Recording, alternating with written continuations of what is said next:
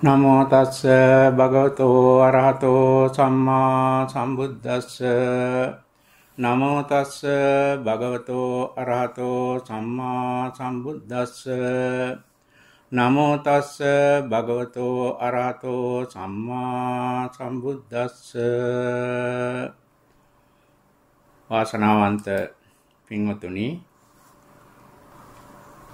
විමුක්ති අරණ හුදකලා භාවනා මධ්‍යස්ථානයේ පවත්වන ඒ පොහොය දහම් වැඩසටහන් මාලාවේ අද 2024 වෙසක් පුන් පසළොස්වක පොහොය දවසයි.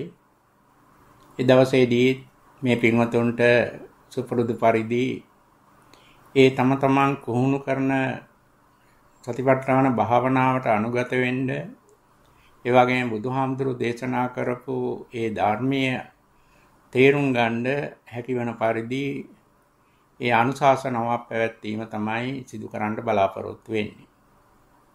අපි ගිය අවුරුද්දේ වෙසක් පොහොයේ සිට පහුගිය පොය දක්වාම බුදුහාමුදුරු දේශනා කොට වදාළ කායගත සති සූත්‍රය ඇසුරු කරගෙන මේ සතිපට්ඨාන සතිපට්ඨාන භාවනාවක් වඩන මේ පින්වතුන්ගේ ධර්ම ඥානය වැඩි වෙන ආකාරයට ඒ කායගත සති සූත්‍රයේ අන්තර්ගත ධර්ම කරුණු පැහැදිලි කරගෙන ආවා. දැන් අද දවසේ ඒ සූත්‍රය ධර්ම කරුණු පැහැදිලි කරන්න බලාපොරොත්තු වෙන්නේ දැන් අපි අද මේ විශේෂ වූ වෙසක් පුරපසළොස්වක පොහොය දවස කියන්නේ මීට අවුරුදු 2600කට පමණ පෙර ඒ ලෞතර බුදු පියාණන් වහන්සේ බෝධිසත්ව කාලයක් ගත කරලා බුද්ධත්වයට පැමිණිච්ච දවස. මේ බුද්ධත්වය කියලා හඳුන්වන්නේ මේ සංසාරය පිළිබඳව වෙන මිනිසයන් දෙවියන් බ්‍රහ්මයන් ආදී මේ ලෝකේ ජීවත් වෙන සියලුම සත්වය අවබෝධ කරගත්තේ නැති සුවිශේෂී ධර්මතාවයක් අවබෝධ කර ගැනීම.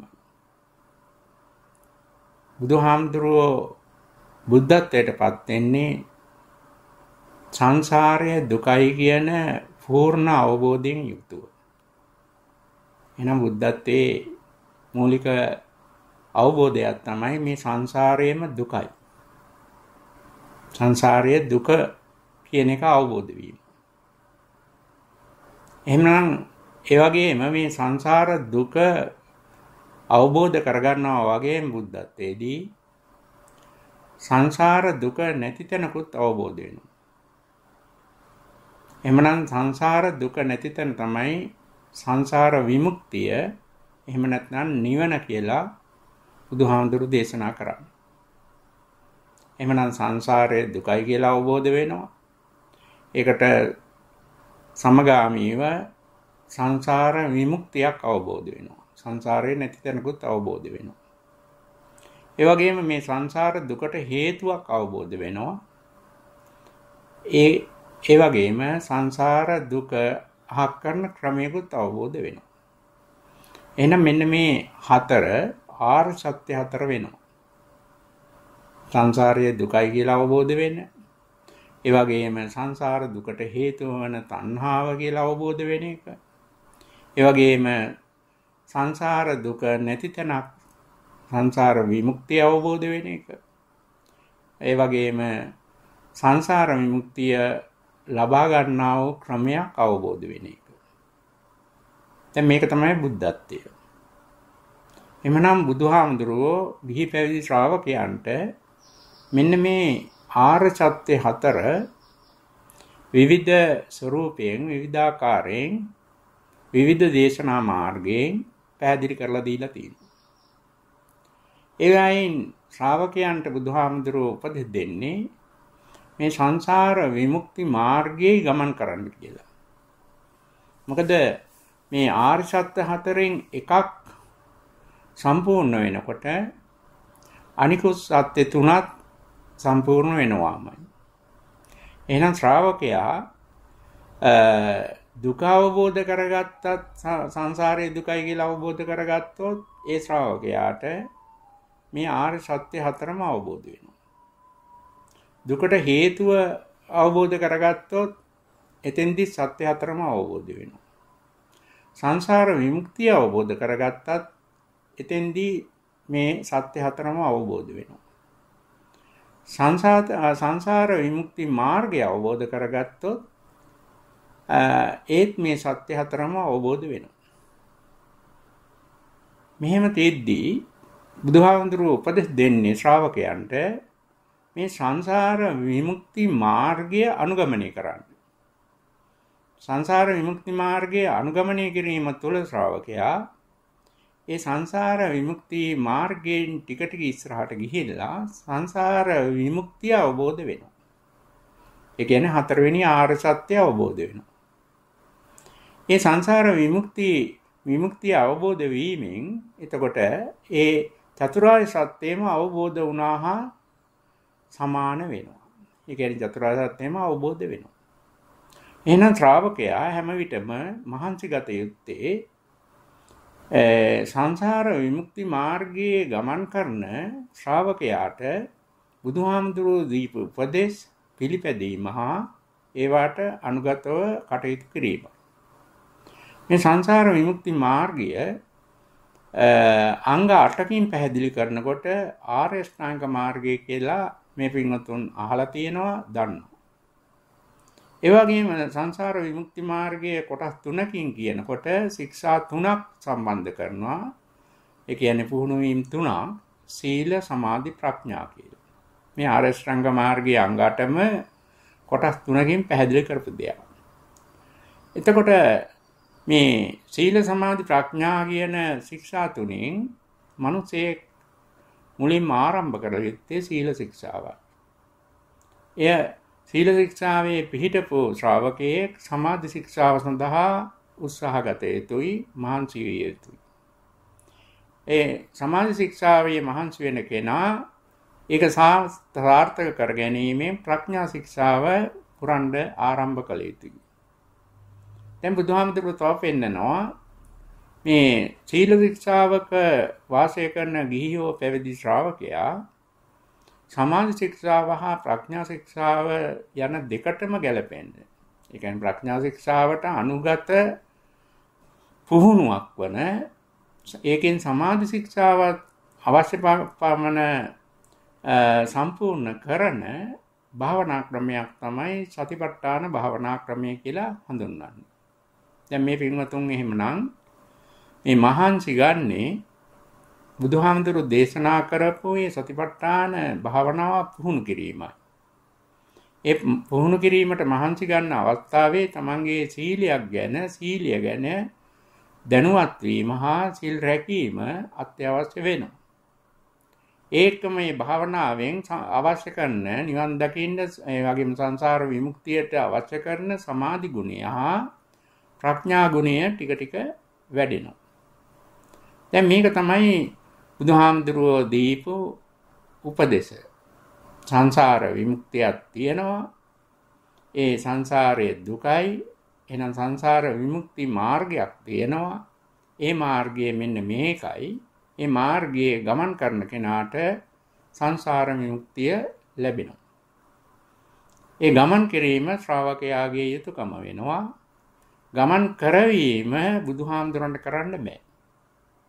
බුද්ධත්වයෙන් අවබෝධ කරගත්තේ මේ ගමන් මාර්ගය හා ගමන් මාර්ගයේ තියෙන ලක්ෂණයි.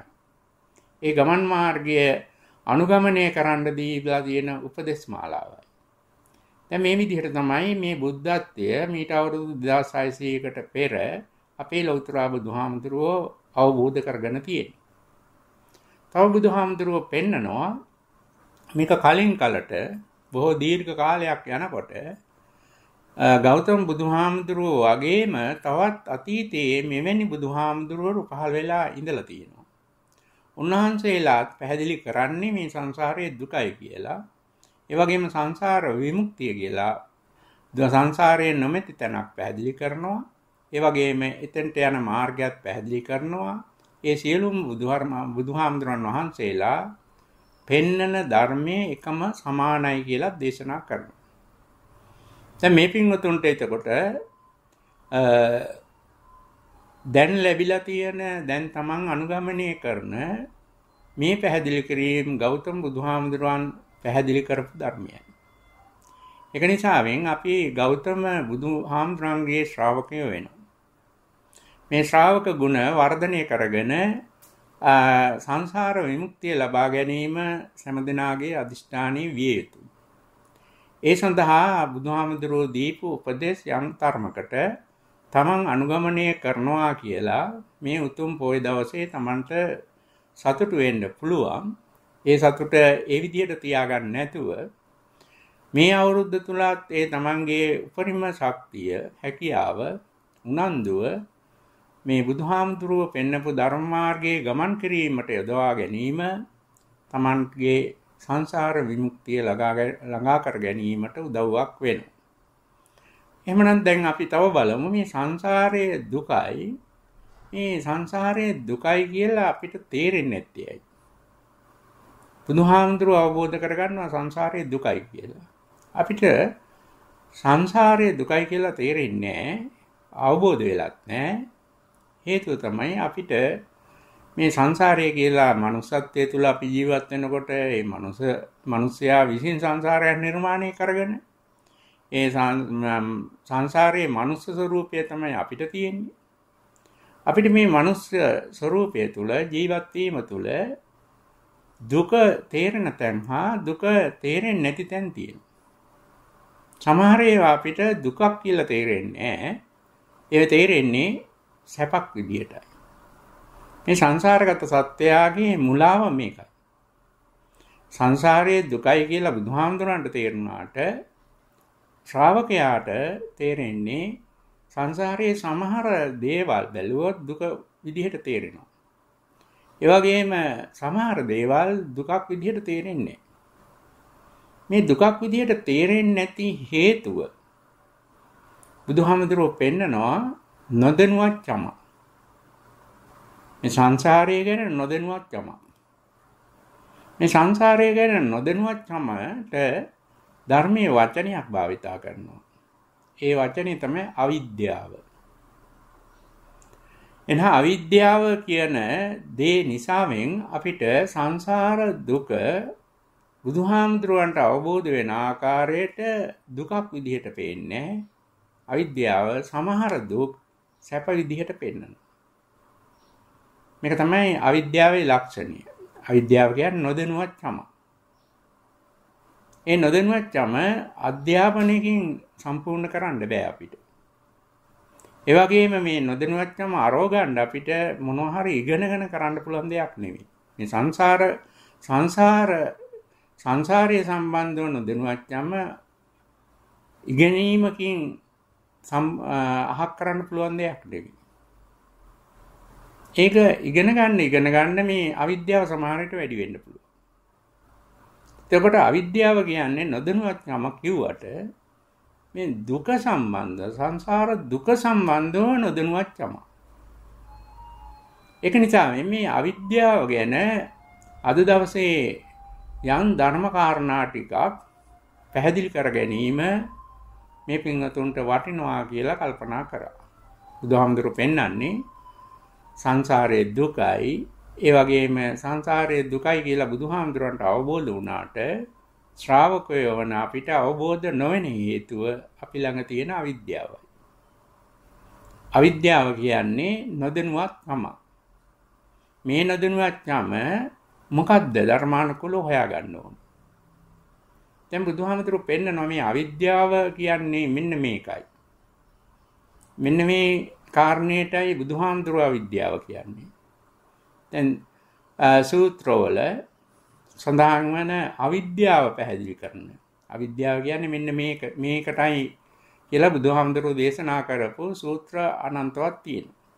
පැහැදිලි කිරීම විශාල සංඛ්‍යාවක් තියෙනවා. ඒ බුදුහාමුදුරුව දේශනා කරපු අවිද්‍යාව හඳුන්වන්නේ වචන හතරකින්. දැන් අවිද්‍යාව කියන්නේ මෙන්න මේකයි කියලා බුදුහාමුදුරුව පෙන්වන්නේ වාක්‍ය හතරක් අරගෙන. ඒ වාක්‍ය හතර තමයි දුක්ඛේ අඥානං දුක්ඛ සමුදය අඥානං දුක්ඛ නිරෝධේ අඥානං දුක්ඛ නිරෝධගාමිනී පටිපදාය අඥානං. මෙන්න අවිද්‍යාව. දැන් දුක සම්බන්ධව නොදැනුවච්චාම අවිද්‍යාව එක පැත්තක්. දුකට හේතුව ගැන නොදැනුවච්චාම අවිද්‍යාවේ කොටසක්. ඒ වගේම දුක නැති තැන අවබෝධ නොවීම අවිද්‍යාවේ කොටසක් දුක නැති කරන ක්‍රමය අවබෝධ නොවීමත් අවිද්‍යාවේ කොටසක්. එහෙනම් මේ අවිද්‍යාවයි දුකයි අතර සම්බන්ධයක් තියෙනවා. මොනවා හරි දැනගත්තට විද්‍යාව වෙන්නේ නැහැ. දැන් අවිද්‍යාව නැති තැන ධර්මයේ කියනවා විද්‍යාව. එහෙනම් විද්‍යාව කියන එකයි අවිද්‍යාව කියන එකයි මේ දෙක ධර්මයේදී හඳුන්වන්නේ අපි සම්මත ලෝකයේ හඳුන්වන ක්‍රමයට නෙවෙයි. වර්තමානයේ අපි අවිද්‍යාව නැති වෙන්න ඉගෙන ගන්නවා. අවිද්‍යාව නැති වෙන්න අපි එක එක පුහුණු ලබනවා. අවිද්‍යාව නැති වෙන්න අපි සාකච්ඡා කරනවා. අවිද්‍යාව නැති වෙන්න අපි තර්ක කරනවා.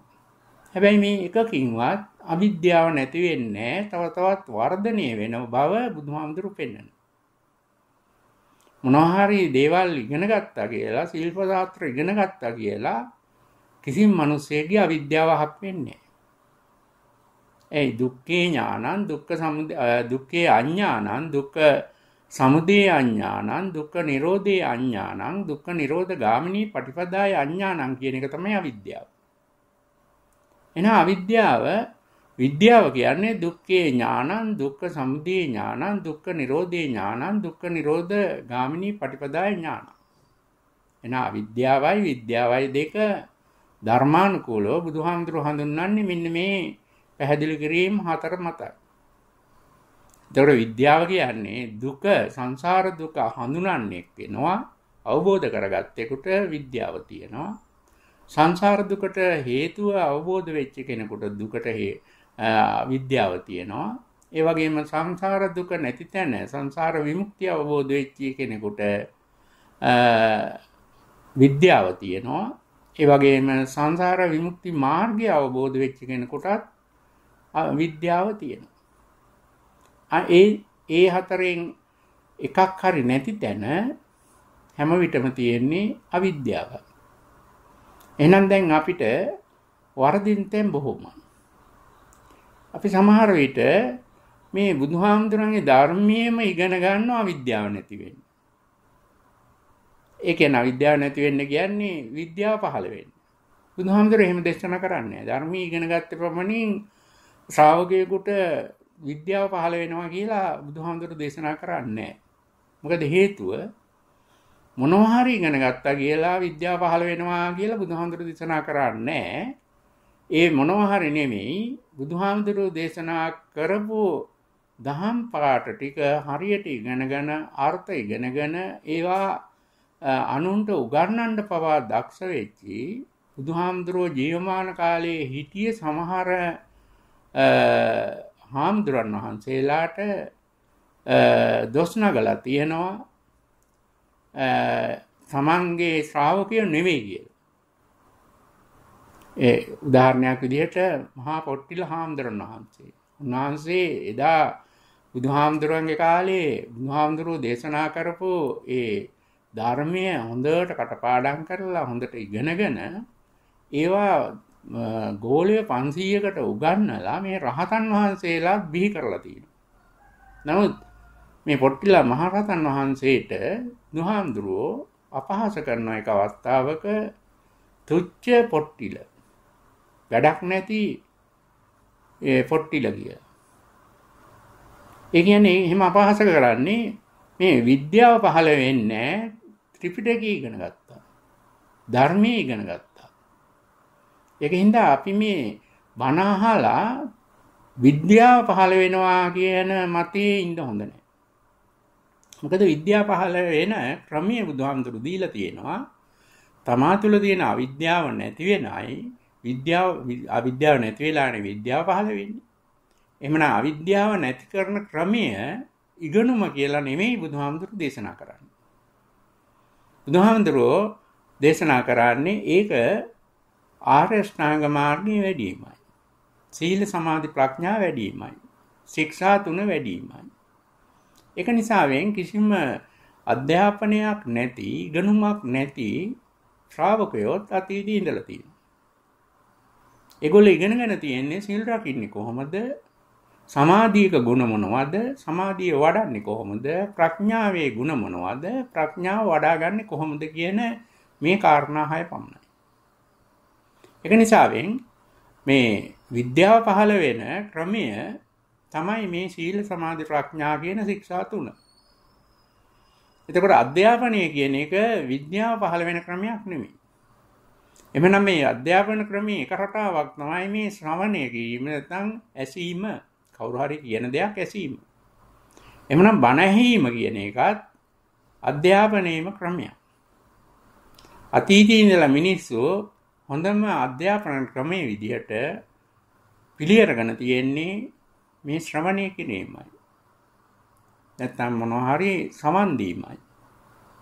ඒ දන්නේ කෙනෙක් පැහැදිලි කරන එකට සමන් දෙලා සමන් දෙන්න දැනුවත් භාවයකටපත් වෙනවා. ඒක තමයි බණින් කරන්නේ. නමුත් මේ විද්‍යාව පහළ වෙන ක්‍රමයක් විදිහට නෙවෙයි ධර්මයේ ඉගෙන ගැනීම හෝ ධර්ම ශ්‍රවණය කියන එක බුදුහාමුදුරු පැහැදිලි කරන්නේ. ඊට වැඩිය වෙනස් දෙයක් විදිහට. හැබැයි මේ බුදුහාමුදුරුව පෙන්වන ධර්මයේ තුල තියෙන සුවිශේෂී භාවය තමයි බණ ඇහිය යුතු ශ්‍රාවකයා ධර්මයේ ඉගෙන ගත යුතු යම් ප්‍රමාණයකට ඒ ඉගෙන ගන්න කුමකටද අර සීල සීලේ වටිනාකම තේරුම් ගැනීමට හා සීල් නිවැරදිව සීල් ආරක්ෂා කරන පිළිවෙලක් ධර්මානුකූලව ඉගෙන ගැනීමට. ඒ වගේම ධර්මයේ ශ්‍රවණය කළ යුතු ශ්‍රාවකයා සමාධියේ ಗುಣ මොනවද බුදුහාමුදුරුව පෙන්වන සමාධිය ලෝකයා කියන සමාධිය නෙවෙයි. ලෝකයා භාවිතා කරන සමාධියව නෙවෙයි බුදුහාමුදුරන්ට අවශ්‍ය සංසාර විමුක්තියට අවශ්‍ය සමාධි ගුණයක් කියන්නේ කුමක්ද? එය ලබා ගන්නෙ කොහොමද? එය ලබා ගැනීමේදී ඇතිවන බාධක මොනවද? මේවා ඉගෙන ගන්න, මේවා ගැන දැනුවත් වෙන්න බණ අහන්න කියනවා. නමුත් බණ අහලා අර ශික්ෂාව සම්පූර්ණ වෙන්නේ බණ ඇහිම හින්දා අර තමන් පුහුණු කරන ශික්ෂාවේ අඩුපාඩුකම් තේරුම් ගැනීමට හා අඩුපාඩුකම් මගහරවා ගැනීමට නිවැරදි ක්‍රමයක් භාවිතා කිරීමට හැකියාව ලැබෙනවා. එතකොට ප්‍රඥා ශික්ෂාවෙත් එහෙමයි. බණ ඇහිීමෙන් ප්‍රඥාව ලැබෙනවා නෙමෙයි බුදුහාමුදුරු පෙන්වන්නේ ප්‍රඥා ලැබීම සඳහා ශික්ෂාවක් පුහුණුවක් දෙනවා. ඒක තමයි සතිපට්ඨාන භාවනා කියන්නේ විපස්සනා භාවනා. ඒ භාවනාවක් කරගෙන යන ශ්‍රාවකයා කරන වැරදි අඩු කරගන්නත් ඒ වගේම තමන් මුලාවටපත් වෙන්නේ නැතුව ඉදිරියට යන්නත් ධර්ම ශ්‍රවණය බණ ඇහිීම වැදගත් වෙනවා. එහෙමනම් බණ ඇහිීම ශික්ෂාවක් නෙමෙයි. එහෙමනම් බණ ඇහිීමෙන් තමන්ගේ අවිද්‍යාව දුරු වෙන්නේ නැහැ. අවිද්‍යාව දුරු වෙන්නේ අර ශික්ෂා වර්ධනය කිරීම. දැන් එහෙමනම් මේ අවිද්‍යාව කියන්නේ බුදුහාමුදුරුවෝ පෙන්වන්නේ දුක්ඛේ අඥානං දුක්ඛ සමුදය අඥානං දුක්ඛ නිරෝධේ අඥානං දුක්ඛ නිරෝධ ගාමිනී පටිපදාය අඥානං කියන මෙන්න මේ විදිහට මේ දුක සම්බන්ධව තියෙන කාරණා හතරක්. වෙන මොනෝදී දුක සම්බන්ධව තියෙන කාරණා හතර හැර වෙන ලෝකයේ සම්මත ශිල්ප ශාස්ත්‍රයක් අධ්‍යාපන ක්‍රමයක් එතකොට වෙනත් විදිහේ පිළිගැනීමක් කොච්චර ඉගෙන ගත්තත් මේ කියන අවිද්‍යාවේ අහක්වීමක් නෑ. නමුත් මේ අවිද්‍යාවේ දුක සම්බන්ධව තියෙන කාරණා දිහා බැලුවම මේ සංසාරගත සත්‍යය බුදුහාමුදුරුව බෝධිසත්වයෙක් විදිහට මේ මනුස්ස ලෝකේ පහළ වෙන්න වෙන කාලේ වෙනකොටත් මේ සංසාර දුකේ යම්කිසි ප්‍රමාණ අවබෝධ කරගත්තේ මිනිස්සු ඉඳලා තියෙනවා. උදාහරණයක් විදිහට හැම මිනිස්සයාටම මේක යම්කිසි අල්ප මාත්‍ර හෝ විද්‍යාවක් තියෙනවා. නමුත් බුදුහාමුදුරුව පෙන්නන පූර්ණ අවිද්‍යාව හක් වෙලා නෙවෙයි. ඒ කියන්නේ හැම මිනිසියෙක්ම සංසාර දුකේ අංශු මාත්‍රයක් හරි දන්නවා. ඒ වගේම සමහර මිනිස්සුયો ඉන්නවා දියුණු වෙලා මේ අවිද්‍යාවේ තව ඊට වැඩි ප්‍රමාණයක් අවබෝධ කරගත්තේ අය. ඒ කියන්නේ අවිද්‍යාව දුරු කරපු අය. සම්පූර්ණ නෙවෙයි. අවිද්‍යාව කියන්නේ එතකොට සංසාර දුක සම්බන්ධව යම්කිසි දැනුවත් වීමක් අවබෝධයක් නේ. ඒ අනුව ලෝකයේ හැමදාම මේ සංසාර දුක සම්බන්ධව යම්කිසි ප්‍රමාණයක අවබෝධයෙන් යුතු මිනිස්සු ඉන්නවා. ඒ වගේම ඒකේ වැඩි ප්‍රමාණයක් අවබෝධ වෙච්ච මිනිස්සුත් ඉන්නවා. දැන් බුදුහාමුදුරන්ට පහසුයි ඇත්තටම මේ සංසාර දුක පිළිබඳ වැඩිපුර අවබෝධ වෙච්චි ශ්‍රාවකයා මුණ ගැහුණොත් ඒ ශ්‍රාවකයාට සංසාර විමුක්තිය පැහැදිලි කරලා දෙන්න. දැන් වර්තමානයේ ඉන්න මිනිස්සු දිහා බැලුවම මේ සංසාර දුක සම්බන්ධව අවබෝධය අඩු වීගෙන යන කාලයක්. ඒ කියන්නේ දුක සම්බන්ධව යම්කිසි දේවල් දන්නව ඇති අවබෝධයක් නෑ දුක කියන්නේ මොකද්ද කියලා. ඒකින්ද වෙන වෙන ශිල්ප ශාස්ත්‍ර දැනගත්තට මේ සංසාර දුක පිළිබඳ අවබෝධයක් තියෙනවා කියන වැරදි මතය අපි ළඟත් තියෙන්න පුළුවන්. දැන් එන්නේ එක තමයි මේ වැරද්දට හේතු වෙන්නේ. අපි සංසාර දුක අවබෝධ වෙන්න ඕනේ කියලා හිතාගෙන දුක ගැන ඉගෙන ගන්නවා. දුක ගැන ඉගෙන ගත්තට මේ කියන අපි ළඟ තියෙන අවිද්‍යාව හක් වෙන්නේ. දුක ගැන ඉගෙන ගැනීමෙන් නෙමෙයි අවිද්‍යාව හක් වෙන්නේ. සිල් රැකීමෙන්, සමාධිය වැඩිවීමෙන්, ප්‍රඥාව වර්ධනය කිරීමෙන්. ඒක ඉගෙන ගැනීමක් නෙමෙයි. නමුත් දැන් බෝධිසත්ව කාලයේ බැලුවොත් බුදුහාඳුරන්ගේ ජීවමාන කාලයේ බැලුවොත් මේ සමාජයේ මිනිස්සු විශාල ප්‍රමාණයක් ඉඳලා තියෙනවා බුදුහාමුදුරුවෝ තරමට බුද්ධත්වයෙන් අවබෝධ වෙන සංසාර දුක තරමට සංසාර දුක අවබෝධ නොවුනත් සංසාර දුකේ යම්කිසි ප්‍රමාණ එක එක කොටස් අවබෝධ වෙච්චි පිරිස් ඉඳලා තියෙනවා ඒ සංසාර දුක ඒගොල්ලෝ අවබෝධ කරගෙන තියෙන්නේ හැබැයි බුදුහාමුදුරුව පෙන්නන අර සීල සමාධි කියන ගුණ දෙකකින්. සීල සීල ශික්ෂාව හරහා සමාධි ශික්ෂාව හරහා කියන මෙන්න මේ ශික්ෂා දෙක හරහා සංසාර දුකේ යම්කිසි ප්‍රමාණයක් අවබෝධ වෙච්චි පිරිස් අදට වැඩිය එදා ඉඳලා තියෙන වග පැහැදිලි සාක්ෂියක්. වර්තමානයේ හැබැයි එදාට වැඩිය දුක පිළිබඳව දැනුවත් වෙච්ච පිරිසක් ඉන්න පුළුවන්. මේ දුක පිළිබඳ දැනුවත් වීම සංසාර විමුක්ති මාර්ගයකට අදාළ නැහැ. අවබෝධය තමයි අදාළ. මේක කාරණා දෙකක්. මොකද දුක ගැන දැනුවත් වීම තුළ දුකෙන් දුකටපත් වෙන ගතිය වැඩි වෙනවා. ඒ කියන්නේ උදාහරණයක් විදිහට ගත්තොත් දැන් මේ පින්වතුන්ට වර්තමානයේ තියෙන දුක් දුක ගැන දැනගෙන මීට පෙර අපේ අතීතයේ මීට අවුරුදු 4500කට පෙර හිටපු ලංකාවේ මිනිස්සු දුක ගැන එච්චර දන්නේ නැති හින්දා සමහර ඒවා ඒගොල්ලන්ට ඒ දැනගැනී දුක ගැන දැනගැනීමෙන් ඇති වෙන අලුත් දුක හටගන්නේ දැන් රෝග ලෙඩ රෝග ගත්තොත් හඳුන ගන්නෑ ඉස්සර මිනිස්සු දන්නේ උගන්නන්න කෙනෙක් නෑ ලෙඩ රෝග වෙන. එකින්ද ඒගොල්ලන්ට ඒ නොදන්න කමම දුක ඒ ඒ ලෙඩ සම්බන්ධව අනියත දුකක් දැන් ලෙඩක් හැදෙන්නේ නැතුවත් දුක් විඳින මිනිස්සු ඉන්නවා වර්තමානයේ ලෙඩ රෝග ගැන දැනගන්න. ඉතර මිනිහෙක් දුකක් වින්දානම් ලෙඩකින් ඒ ලෙඩේ හැදුනට පස්සේ.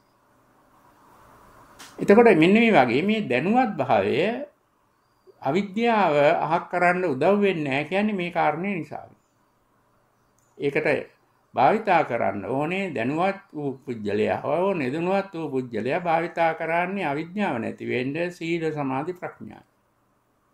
එතකොට දැනුවත් වූ පුජ්‍යලයාට සමහර විට ඒ දැනුවත් භාවයම බාධාවක් වෙන්න පුළුවන් සිල් රැකීමට ඒ වගේම සමාධිය වැඩිවීමට හා ප්‍රඥාව වර්ධනය කර ගැනීමට. දැන් මේ කාරණා දිහා බැලුවම මේ අවිද්‍යාව ගැන වර්තමානයේ අපිට පැටලෙන ගතිය වැඩි. අවිද්‍යාව කියන වචනේ උනත් අපි භාවිතා කරන ක්‍රමයක් වැරදි. මොකද අපි භාවිතා කරන්නේ අවිද්‍යාව නැති තැන විද්‍යාව තියෙනවා කියලා අපි භාවිතා කරනවා. එහෙනම් විද්‍යාව ලැබෙන ක්‍රමීය අධ්‍යාපනයයි කියන එක තමයි වර්තමාන මනුස්ස සමාජයේ සම්පූර්ණ පෙළ ගැස්ම වෙලා තියෙන්නේ. කවුරුත් ලෝකේ විශ්වාස කරන්නේ දැනුවත් වීම ඉගෙන ගැනීම තමයි දුක අඩු කරන ක්‍රමය. දුක වැඩි වෙන හේතුව නොදැනුවත්කම. ඒක ඇත්ත. නොදැනුවත්කම කියලා බුදුහාමුදුරුවෝ පෙන්නනවා ඒ නොදැනුවත්කම දුක ගැන නොදැනුවත්කම හා දුකට හේතුව ගැන නොදැනුවත්කම දුක නැති තැන නොදැනුවත්කම දුක නැති කරන ක්‍රමය නොදැනුවත්කමයි. නමුත් අපි නොදැනුවත්කම කියලා කියන්නේ වර්තමානයේ තියෙන ශිල්ප ශාස්ත්‍ර අධ්‍යාපන විභාග මෙන්න මේවා පිළිබඳ නොදැනුවත්කමයි. මේ කියන දේවල් එක්ක කිසිම සංසාර දුකේ සම්බන්ධයක් නෑ. එන සංසාර දුකේ සම්බන්ධයක් නැත්නම් වර්තමාන අධ්‍යාපනයේ හෝ අධ්‍යාපන ක්‍රම හෝ ඒ ශිල්පීය ඥාන හෝ මේවා මේවා කිසිම විදිහට සංසාර විමුක්තියට සම්බන්ධයක් නැහැ. දැන් මෙන්න මේක තමයි බුදුහාමුදුරුවෝ දීපු පණිවිඩය. මේ පණිවිඩය දුන්නේ අද වගේ පුන් පොහෝ දිනයක. ඒ කියන්නේ බුද්ධත්වයට අවබෝධ කරගත්තේ වෙසක් පුර පසළොස්වක දවස අද වගේ දවසකයි. දැන් එහෙමනම් අපි මේ අපේ දැනුම අහකට දාලා මේ අපි ළඟ තියෙන අවිද්‍යාව ඉවත් කරන්න බුදුහාමුදුරුවෝ දීපු ඒ ක්‍රමවේද පුහුණු කිරීමට මහන්සි ගත යුතුයි. ඒ මහන්සි ගන්න ගියාම අපිට හරස් කපනවා අපේ දැනුම. මොකද දැනුවත් වීම තුලයි විද්‍යාව පහළ වෙන්නේ කියන නොදැනුවත්කම මේ සමාජයේ සෑම පුද්ගලයෙකුටම පොඩි කාලේ ඉඳලා වැඩිහිටියෝ සමාජයේ ඇඟේ පටවන දෙයක්. මේ වැරද්ද පටවනවා අපිට.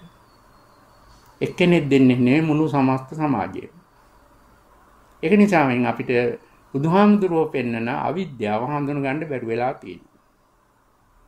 දැන් අපි බලමු මේ දුක සම්බන්ධව හැබැයි උප්පත්තියෙන් ඕනම මිනිසෙකුට යම්කිසි බුදුහාමුදුරුවෝ පෙන්නන සංසාර දුකේ යම්කිසි අල්ප මාත්‍රයක් හරි අවබෝධයක් නැත්නම් මිනිසෙක් කියලා උපදින්නේ. සමහර මිනිසයන්ට මේ අවබෝධය ඉපදුනාට පස්සේ වැඩි කරගන්න පුළුවන්. ඒ වැඩි කරගන්න හැබැයි අසාමාන්‍ය ලෙස වැඩි කරගන්න නම් බුදුහාමුදුරුව වෙන ශික්ෂා ඒ විදිහටම අනුගමනය කරගන්න වෙනවා. දැන් බෝධිසත්වයෝ පහළ වෙන කාලේ මේ සංසාර දුකේ ඉහළ ප්‍රමාණයක් අවබෝධ කරගත්තේ අධ්‍යාත්මික පුහුණු ලැබපුවයි ඉඳලා තියෙනවා. දැන් ආලාර කාලාම උද්දකාරාම පුත්‍ර වගේ බෝධිසත්වයන්ගේ ගුරුවරු මේ සංසාර දුක සම්බන්ධව බුදුහාමුදුරුව පෙන්වන අවිද්‍යාව සම්බන්ධව සෑහෙන පරිණත භාවයකින් හිටියා. හැබැයි බුද්ධත්වයෙන් අවබෝධ කරගත්ත ආකාරයට මේ සම්පූර්ණ වීමක් නැහැ. බුදුහාමුදුරුව පෙන්නන අවිද්‍යාවෙන් කොටසක් අහක් කරගෙන හිටියා. ඒ කොටස මොකක්ද? මේවා ඉගෙන ගන්න වෙනවා. දැන් අපි හිතමු උද්දකාරාම පුත්‍ර කියන ගුරුවරයා මේ කාම ලෝකයේ තියෙන හැම ක්‍රියාවලියක්ම සංසාර දුක කියලා සංසාර දුකට අයිති කියලා අවබෝධයකින් හිටියා. ඒ කියන්නේ කාම ලෝකය කියන්නේ manussත්වයේ, දේවත්වයේ හා සතර අපාය කියන සංසාරික ස්වરૂප ටික. මෙතන 11 තලයක් තියෙනවා. දැන් බුදුහාමුදුරුවෝ පෙන්නනවා දිව්‍ය ලෝක 6ක්, මනුස්ස ලෝකය, අපාය 4ක්. එකතු ගත්තම 11ක්. මේ ආලාර කාලාම අවබෝධ කරගෙන තියෙනවා මේ 11 තලයේ මොනවා හරි ක්‍රියාවක් තියද මේ ඒ ඕනම ක්‍රියාවක් දුකයි කියලා. එතකොට දැන් මිනිස්සෙක් ගත්තොත් මේ මිනිස්යාට මනුස්ස ජීවිතය තුළ ක්‍රියාකාරකම් තුනක් තියෙනවා. ඒ ක්‍රියාකාරකම් තුන තමයි කායික ක්‍රියා, වාචසික ක්‍රියා ඒ වගේම මානසික ක්‍රියා මේ ක්‍රියාකාරකම් තුනක් මිනිහේ මිනිසෙක් කරන්න පුළුවන් උපරිම ක්‍රියාකාරීත්වය තියෙන්නේ මේ තුන හරහායි දැන් යමෙක් ඉගෙන ගන්නවා කියන එක රැකියාවක් කරනවා කියන එක ශිල්ප ශාස්ත්‍රයක් හදාරනවා කියන එක ඒ හදාරපු ශිල්ප ශාස්ත්‍රයෙන් වැඩ ගන්නවා කියන එක මේ හැමතැනම එක්කහුනාම තියෙන්නේ කාය කර්ම, වචී කර්ම, හා මනෝ කර්ම කියන කර්ම තුන. ක්‍රියා වර්ග තුනකින් අපිට මිනිසෙකුට ක්‍රියාකාරීත්වෙ වෙන්න පුළුවන්. දැන් ආලාර කාලාම කියනවා manussත්වයේ තුල තියෙන සියලුම කාය කර්ම දුක. සංසාරේ දුකකට හේතුවක් වෙනවා. දුකක් පවතින තැනක. ඒ කියන්නේ manussත්වයේ තුල සිදු කරන සියලුම කාය කර්ම, manussත්වයේ තුල සිදු කරන සියලුම වචී කර්ම, manussත්වයේ තුල සිදු කරන සියලුම මනෝ කර්ම ටික අවිද්‍යාව තුලින් සිදුවෙන දෙයක් බවට ආලාර කාලාම බෝධිසත්වයන්ට උගන්වනවා. එහෙමනම් මේ විද්‍යාව කොහෙද තියෙන්නේ කියලා ආලාර කාලාම කියන්නේ මේ කාම ලෝකයේ ඉක්මෝපු මනෝභාවයක් තුලයි විද්‍යාව තියෙන්නේ. අන්න ආලාර කාලාමගේ විද්‍යාව. අවිද්‍යාව නැති තැන. ඒ කියන්නේ දැන් ආලාර කාලාමතුව කියන්නේ manussත්වයේ තුල ඒ වගේම දේවත්වයේ තුල ගත්තත් සතර පායි ගත්තත් මේ 11 තලයේම සත්ත්ව ක්‍රියාකාරකම් හැම එකම අවිද්‍යාව සම්බන්ධයක් තියෙනවා විද්‍යාවක් නැහැ එහෙනම් විද්‍යාව තියෙන්නේ කොහෙද ආලාර කාලාම කියන්නේ විද්‍යාව තියෙන්නේ කාම ලෝකයේ ඉක්මෝපු මානසික ස්වરૂපයක් මතයි කාම ලෝකයේ ඉක්මවපු මානසික ස්වરૂපයක් ලබා ගන්න ක්‍රමය ආලාර කාලාම බෝධිසත්වයන්ට ඉගෙනුවා. එතකොට ආලාර කාලාමක් මෙන්න මේ අවිද්‍යාවේ කාරණා හතරක් ගැන පැහැදිලි කරලා දීලා තියෙනවා බුදුහාමුදුරන්ට. දැන් බුදුහාමුදුරුවෝ පෙන්වන්නේ අවිද්‍යාව ගැන දුක්ඛේ අඥාන, දුක්ඛ සමුදය අඥාන, දුක්ඛ නිරෝධේ අඥාන, දුක්ඛ නිරෝධ ගාමිනී පටිපදාය අඥාන. දැන් අවිද්‍යාව කියන්නේ ආලාර කාලාමත් කියන්නේ ඕකම. අවිද්‍යාව කියන්නේ මේ දුක ගැන දන්නේ නැතිකම. දුකට හේතුව හරියට නොදන්නාකම. දුක නැති තැන නොදන්නාකම. ඒ වගේම දුක නැති කරන ක්‍රමය නොදන්න තැන අවිද්‍යාව තියෙනවා. නමුත් ආලාර කාලම් බෝධිසත්වයන්ට උගන්වනවා මම පැහැදිලි කරන ක්‍රමය තුළ මේ අවිද්‍යාව සහමුලෙන් නැති කර හැකි. දුක සාමුලෙන් නැති කර හැකි. දුකට හේතුව සාමුලෙන් නැති කර හැකි. දුක නැති තැන අනිවාර්යයෙන්ම ලබා ගන්න පුළුවන්. දුක නැති තැනටපත් වෙනවා මේකෙන්. දුක නැති කරන ක්‍රමය මේකයි. මොකද්ද ක්‍රමය? බුදුහාමුදුරුව පෙන්නන ශික්ෂා වලින් පළවෙනි ශික්ෂාව ආලාර කාලාම කියන. දුක නැති කරගන්න මොනවා හරි ඉගෙන ගන්න බෑ. ආලාර කාලාරමගේ ධර්මයේ ඉගෙනගෙන දුක නැති කරගන්න බෑ කියනවා.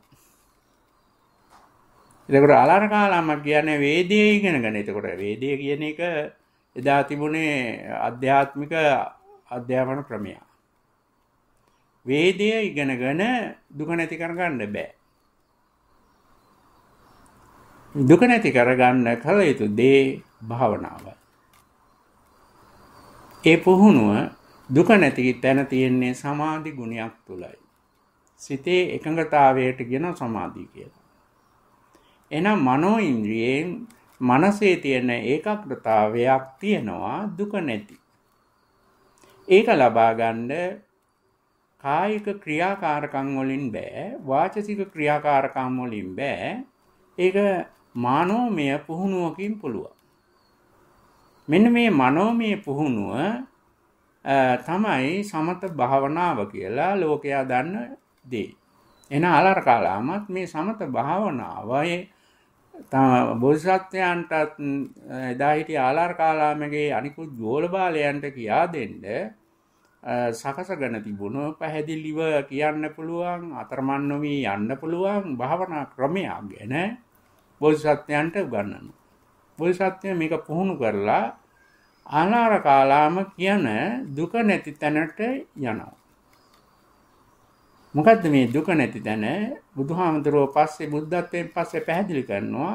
මේ ආලාර කාලාම කියන දුක නැති තැන සත්‍ය ලෙස දුක නැහැ. එයා බොරු කියනව නෙමෙයි.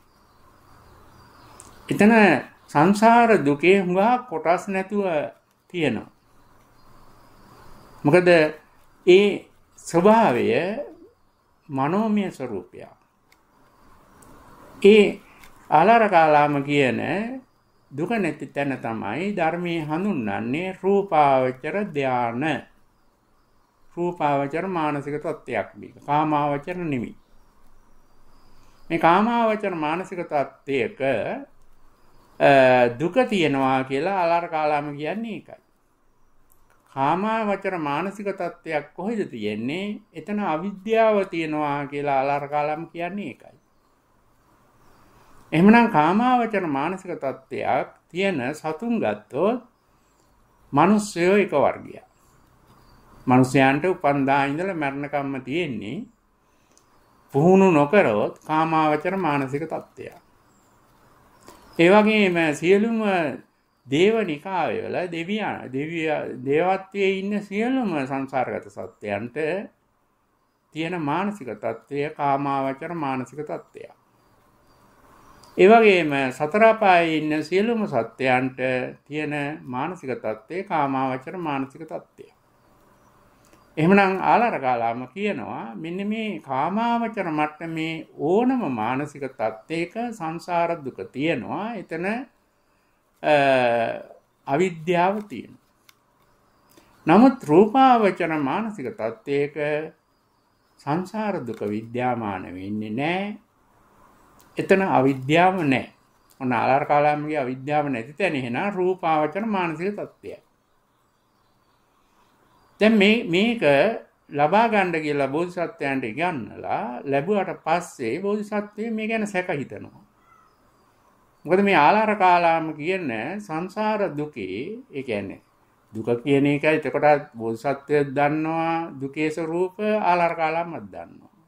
දැන් ආලාර කාලාමත් කියනවා කාම ලෝකයේ ඉපදීම දුකයි. එහෙනම් ජාතිය කියන්නේ ජාති කියන්නේ පාලියෙන් ඉපදීම. එහෙනම් කාම ලෝකයේ ඉපදීම දුකයි. ජාති දුක තියෙනවා. ජාති දුක කොහෙටද ආйти වෙන්නේ? කාම ලෝකයට පමණයි. ඔන්න ආලාර කාලාමගේ ධර්මයේ ස්වરૂපය අවබෝධ කරගත්ත සංසාර විමුක්තියේ ස්වરૂපය. ඊළඟට ආලාර කාලාම පැහැදිලිව කිය පෙන්නනවා ජරා මරණ දෙක තියෙන්නේ මේ ප්‍රකටව කාම ලෝකේ.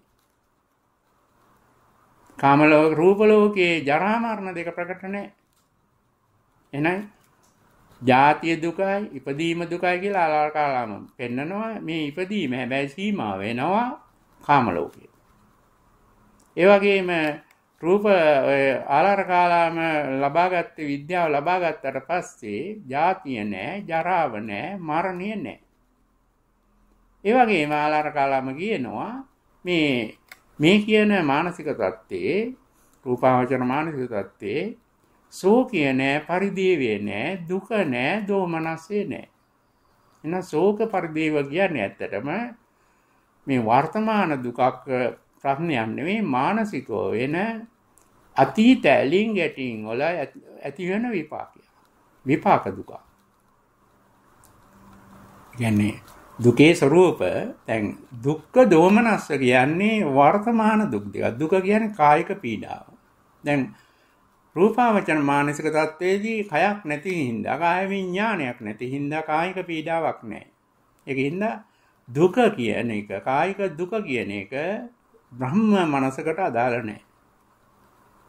ඒ වගේම දෝමනස්ස ගතිය කියන්නේ මානසිකව එන පීඩාවක්. ඒකත් අතීතය අල්ලගෙන එන එකක්. ඒ අතීතය අල්ලගෙන මනසෙන් එන දුකක් දෝමනස්සය. දෝමනස්සයත් රූපාවචන මානසික தත්ත්වයේ තුල නැහැ. එhmenan මෙන්න මේවා තමයි ප්‍රධාන දුක්.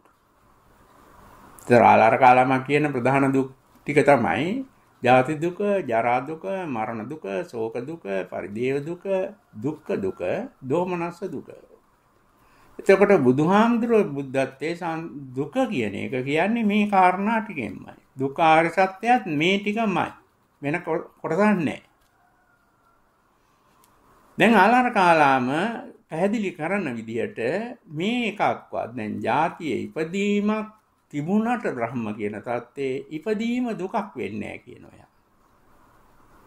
ඒ වගේම බ්‍රහ්ම தත්තේ කායික ස්වરૂපයක් නැති නිසාවෙන් ජරා මරණ දෙක ප්‍රකට නැහැ කියනවා.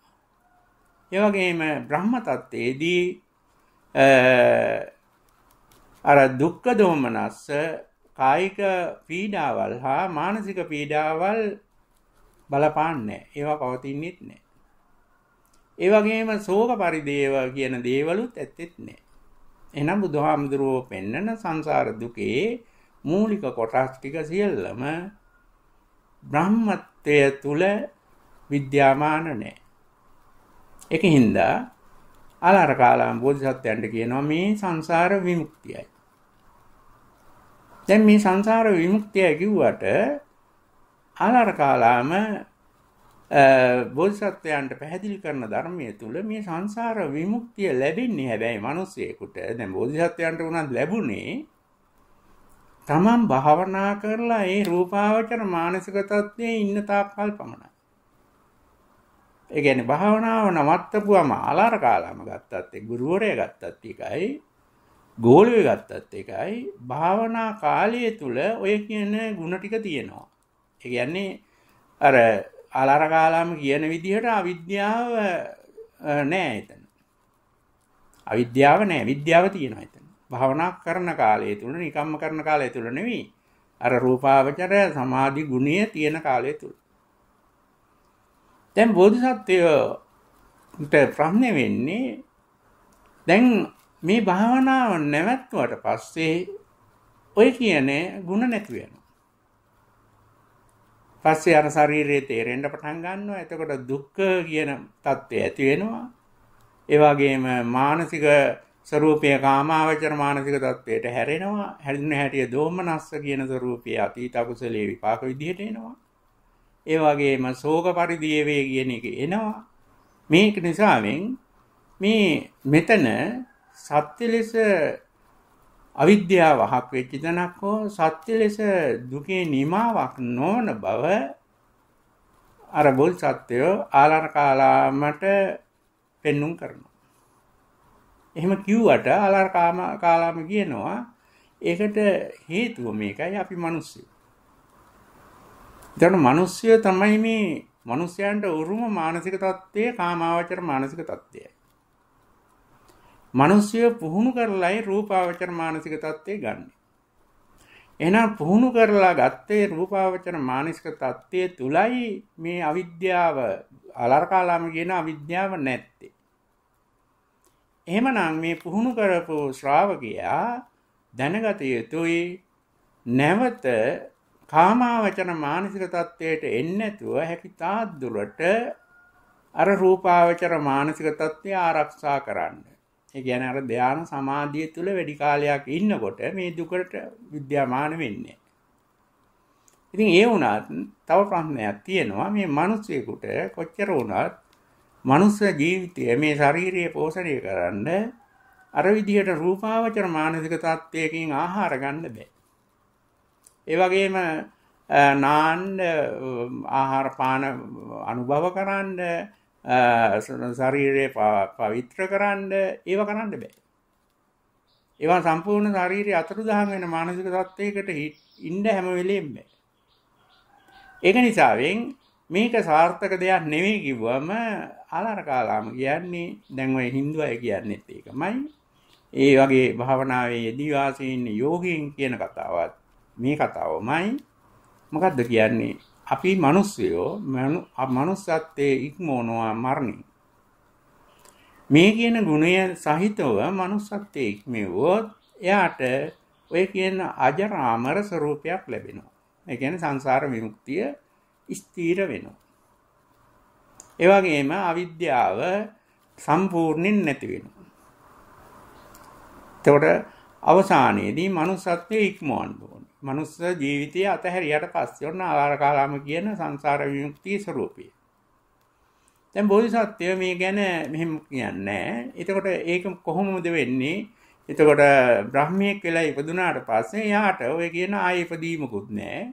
ඔය කියන ජාති දුක, ජරා දුක, මරණ දුක, ශෝක දුක ඔය කියන දුක්ඛ ආර්ය සත්‍ය බුදුහාමුදුරුවෝ පෙන්නන එකක්වත් විද්‍යාමාන නැහැ කියලා පිළිගැනීම තමයි ආලාර කාලගාමගේ පිළිගැනීම. බෝධිසත්වයෝ මේක ප්‍රතික්ෂේප කරනවා එක හේතුවක් තමයි දැන් භාවනාව නවත්තපු හැටි මිනිස්යාට මේ ගුණ එනවනම් මේ නරක අවිද්‍යාව ආය පහළ වෙනවනම් සංසාර දුක විද්‍යාමාන වෙනවනම් බ්‍රහ්ම උනා කියලා මේක මෙහෙම වෙන්න බෑ. මේ බ්‍රහ්ම කියන தත්වයක් එහෙන කවදා හරි අනාදිමත් කාලයකදී විනාශ වෙයි. විනාශ වෙච්ච දවසට මේ බ්‍රහ්මයාට මේ ප්‍රශ්නෙට මුහුණ දෙන්න වෙනවා. ඒක නිසා මේ සංසාර බ්‍රහ්ම කියන මනස දුක විද්‍යාමාන නොවුනට සංසාර දුකේ අවසානයේ නෙවෙයි. తాවකාලිකව සංසාර දුක යටපත් වෙච්ච තවත් ක්‍රමයක් පමණයි.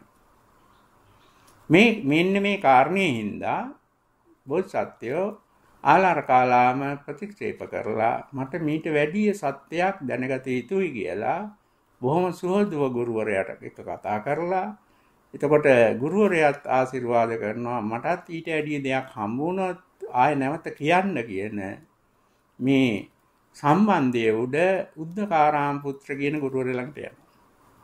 මේ උද්දකාරාම පුත්‍ර ඊට වැඩිය මේ සංසාර දුකේ අවිද්‍යාවේ ගැන අවිද්‍යාව නැති තැනක් ගැන පැහැදිලි කිරීමක් කරනවා. එයා කියනවා ආලාර කාලාම කිව්වට රූපාවචර මානසික තත්වයේ අවිද්‍යාව තියෙනවා.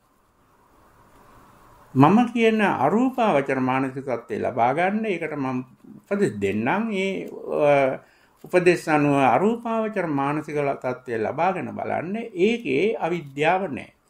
ඔන්න ඒ අනුව තමයි බෝධිසත්වෝ අර උද්දකාරාම පුත්‍රයාටතේ අරූපාවචර ධානය පුහුණු කරලා ඒ මානසික தත්ත්වයේ ඉක්මනින් ලබාගෙන ඒකේ තියෙන අඩුව ආලාර කාලාම ළඟ තිබිච්ච අඩුවම. මොකද මේ මේවැ කොයි කොයි දේ ලැබුවා භාවනා කරලා ඒ කියන මානසික தත්ත්වයේ පුහුණු කරන වෙලාවේ ඔය අවිද්‍යාව නැති වෙච්ච සැඟ වෙච්ච ලක්ෂණ තිබුණට දුක සැඟවෙච්ච තැන් තිබුණට දුක නැති තැන් තිබුණට භාවනාව නවත්තපු හැටිය ආය පැන නගිනවා. ඔය සමත භාවනාවේ හැටිය. එහෙනම් සමත භාවනා කරන අය හැම වෙලේම අර වැඩි වෙලා භාවනාවට නියැලෙන්න හේතුව සියලු දේ අත්හැරලා භාවනා කරන්න හේතුවත් ඕකමයි. ඒගොල්ලෝ අවබෝධ කරගෙන තියෙනවා දුක. ඒ දුක නැති තැනකුත් අවබෝධ වෙලා තියෙනවා. මේ භාවනා කරන කාලේ. ඒ භාවනාවේ ලබාගත් ප්‍රතිඵලයේ භුක්ති විඳින වෙලාවේ.